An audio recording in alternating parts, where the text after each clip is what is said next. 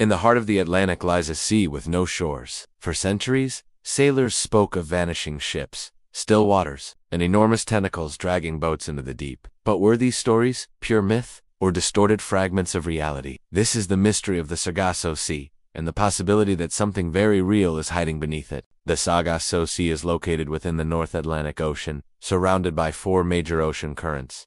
The Gulf Stream, North Atlantic Current, Canary Current, and North Equatorial Current. It has no coasts, just open ocean and drifting golden seaweed, called sailors have long reported strange calmness, erratic currents, and even disappearing vessels. The water is so still, ships could remain trapped for days, or disappear entirely.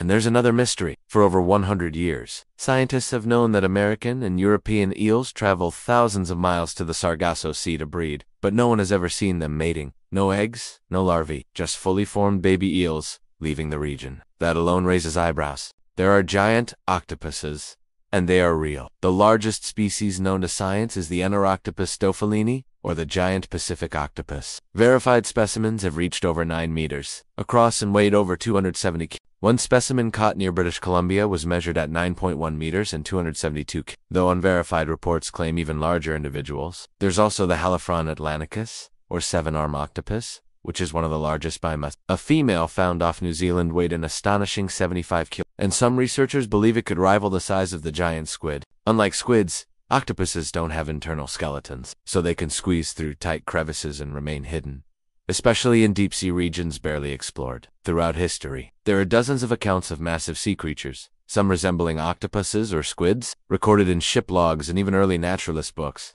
In 1752, Swedish bishop and naturalist Erik Pontoppidan wrote in the Natural History of Norway about a creature he called the kraken, describing it as so large it could be mistaken for an island and capable of dragging entire ships beneath the waves. In 1896, a mysterious, massive creature washed up on the coast of Florida, now known as the St. Augustine monster. Some scientists initially believed it to be a giant octopus. Tissue analysis has never definitively resolved what it was. Even the legendary sea monster Scylla, in Greek, mythology has been speculated by modern marine historians to represent a large cephalopod sighting. Here's where it gets strange. The deep sea is the least explored part of our planet. More than 80% of the ocean remains unmapped and unobserved, especially at extreme depths. If a deep sea octopus evolved to grow larger than we've ever observed, and lived in a remote isolated region like the Sargasso Sea, how would we know? Many cephalopods are known for their camouflage, intelligence, and ability to change shape. Some even mimic rocks, coral, or other animals to hide in plain sight. If one such species had evolved in the abyss,